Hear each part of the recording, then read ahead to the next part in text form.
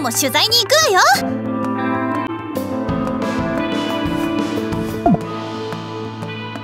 そうね。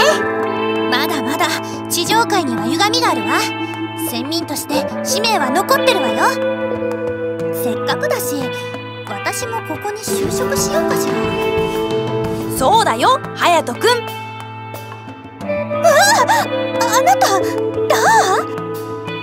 久しぶり地上界の時間は相変わらずよくわからないな。今の人類はこのままにしておくことにしたんだ。その方が面白そうだって隼人君が教えてくれたからね。滅びるはずだった君たちが可能性を見せた。それは今の人間の可能性に通じるから。でね今日はお願いがあるんだ。君のガンゴールに捕獲されているクトゥルンをある場所に封印してほしいんだ。今の世界に出てこられるとまた流れが変わっちゃうかもしれないしね。キザイアとは合ってるでしょ？彼女がいる場所の100階。そこがクトゥルーの封印場所だ。そこにガンゴールを運んでくれればいいよ。運んでくれればって。あそこニャルラとテップとかいるし。危ないじゃないの。でもねクトゥルーの封印はあれぐらいいろいろな境界が曖昧な場所でないと。まあ気が向いたらでいいよ。急いでないから。じゃあよろしくね。あちょっと。どうする？隼人。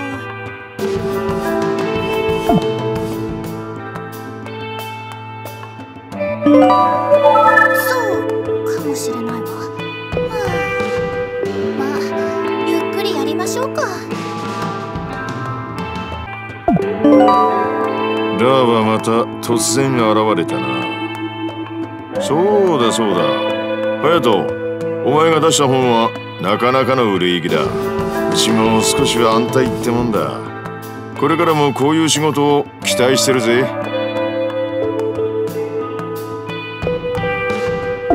頼んだぜ。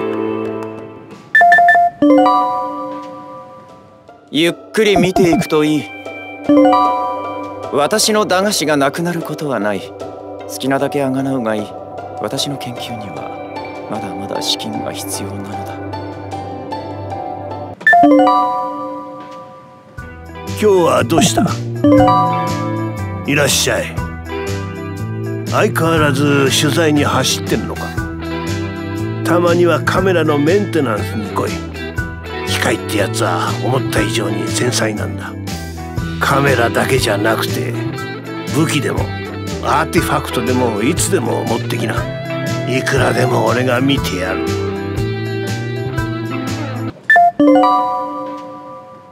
よく来たの。ふむよう来た。湯に入れば主の取材もはかどるに違いない。ゆっくりしていくがよいぞ。主とパートナーはいつも一緒じゃな。仲良きことは良きことじゃ。はあはははではな。